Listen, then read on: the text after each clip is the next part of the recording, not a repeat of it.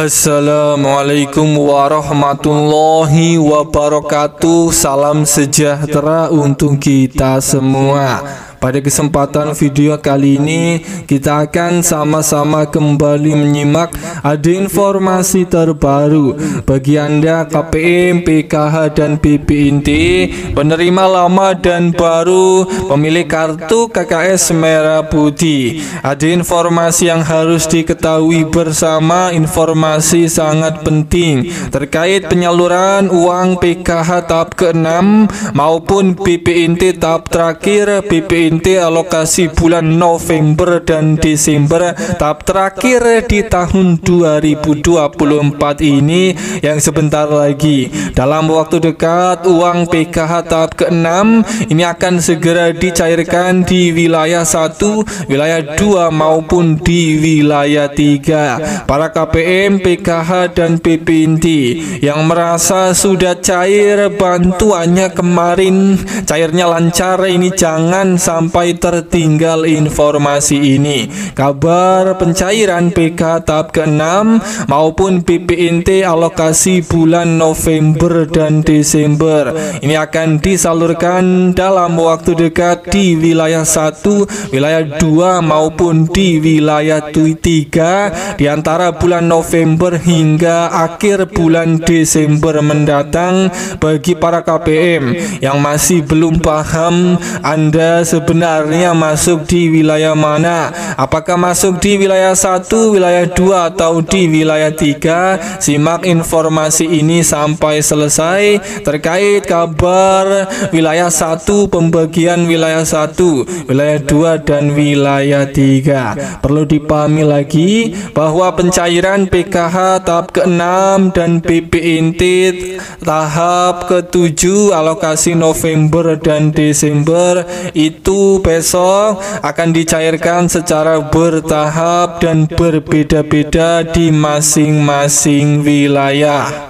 Bagi Anda KPM, PKH, dan PPNT yang masih belum tahu Anda masuk di wilayah mana Apakah wilayah 1, wilayah 2, dan wilayah 3 Ini dia informasi daftar pembagian. Wilayah 1, wilayah 2, maupun di wilayah 3 Daftar daerah yang masuk di dalam wilayah 1 Pencairan PK tahap ke-6 Maupun PPNT November dan Desember. Wilayah 1 itu meliputi meliputi Provinsi Aceh, Sumatera Utara, Sumatera Barat, Sumatera Selatan, Riau, Kepulauan Riau, Provinsi Bangka Belitung, Jambi, Bengkulu, Lampung, dan Provinsi Jawa Barat. Kemudian daftar daerah yang masuk di wilayah 2. Ini meliputi Provinsi DKI Jakarta, Banten, Jawa Tengah, Yogyakarta, Kalimantan Selatan, Kalimantan Barat, Kalimantan Kalimantan Tengah, Kalimantan Timur,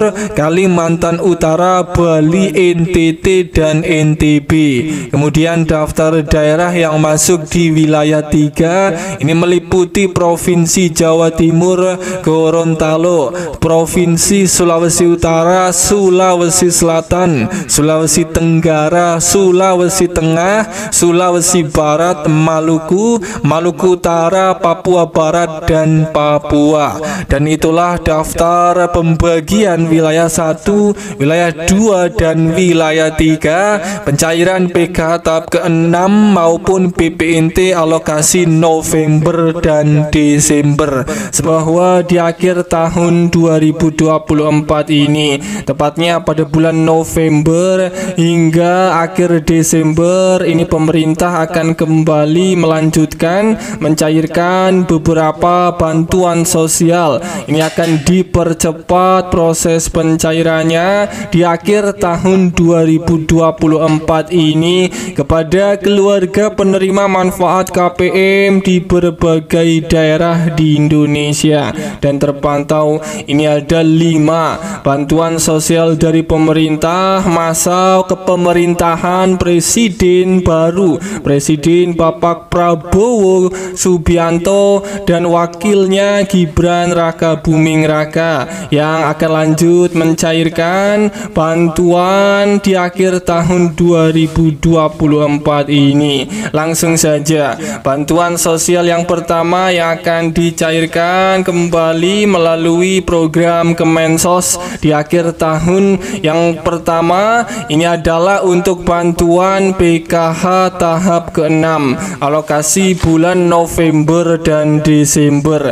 Perlu diketahui lagi bahwa pada bulan November dan Desember ini adalah bulan pencairan bantuan PKH tahap ke-6 yang dicairkan setiap dua bulan sekali dan ini khusus bagi KPM yang dicairkan melalui kartu KKS Merah Putih. Bantuan PKH tahap ke-6 itu cair setiap dua bulan sekali dan bagi KPM yang dicairkan melalui PT Pos bantuan PKH itu masih dicairkan setiap tiga bulan sekali. Dan pada akhir tahun ini KPM yang dicairkan melalui PT Pos ini juga akan dicairkan juga. Pencairan PKH setiap tiga bulan di akhir tahun ini surat undangan pencairan akan segera dibagikan KPM yang cairnya lewat PT Pos Indonesia.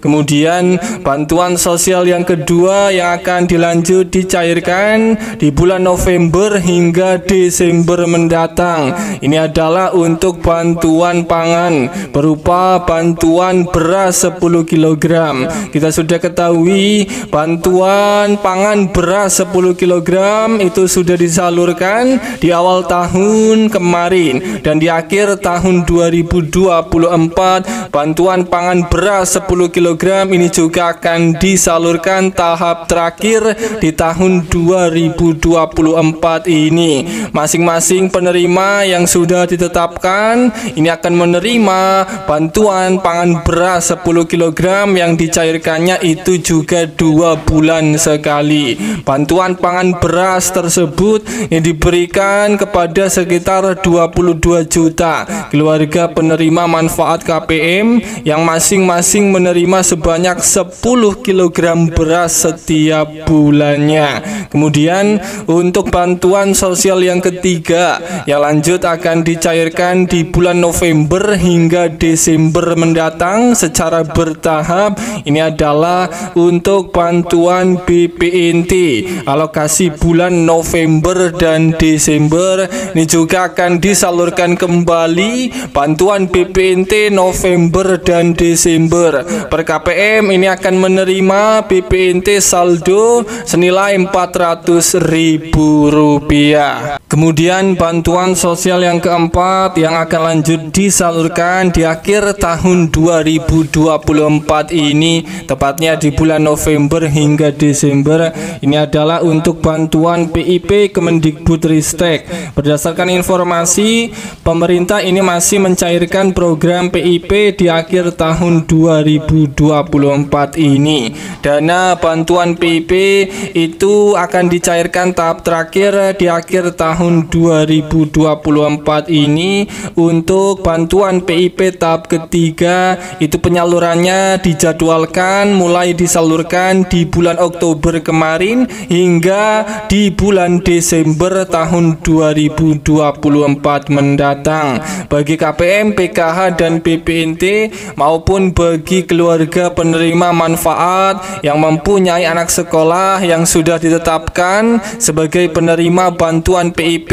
yang sudah aktivasi rekening ini bersiap di akhir tahun 2024 ini.